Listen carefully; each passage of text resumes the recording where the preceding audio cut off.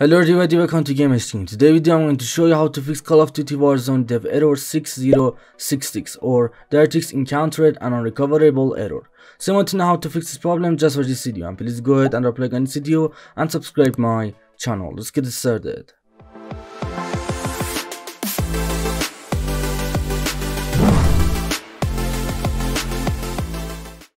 Okay guys, for the first method to fix this problem, first of all just go and open up Battle.net launcher. And then just go and click on options on Call of Duty Warzone. Just click on options on Call of Duty Warzone. And now just go and click on game settings. And then just go and uh, check this option. Additional command line argument. Just check this option. And then just go and enter dash d3 d11 and here.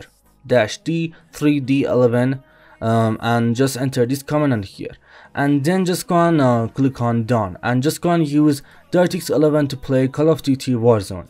And now just go and click on play. And it's the first method you can do to fix this problem. But if didn't work just go and open a Battle.net launcher again.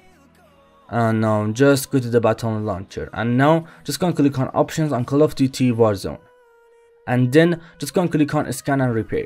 And just go and repair Call of Duty Warzone files. Because sometimes this problem happen because you have some corrupted files about Call of Duty Warzone. So just go and repair Call of Duty Warzone files. And when you select this option you should wait for 10 or 15 minutes but it's dependent to your computer. And it's the second method you can do to fix this problem.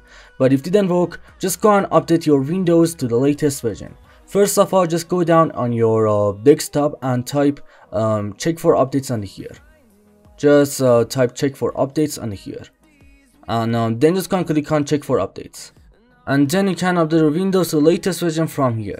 And also guys make sure to update your graphic card driver. If you have any graphic card just uh, you need to just go and use geforce experience and uh, first of all just go and download geforce experience from google and then you can update your graphic card to the latest version from geforce experience. And if you enter AMD just go and search on your web browser and update your graphic card to the latest version from your web browser. And it's the third method you can do to fix this problem. But if it didn't work just go and right click on your Battle.net launcher. And then just go down and click on properties.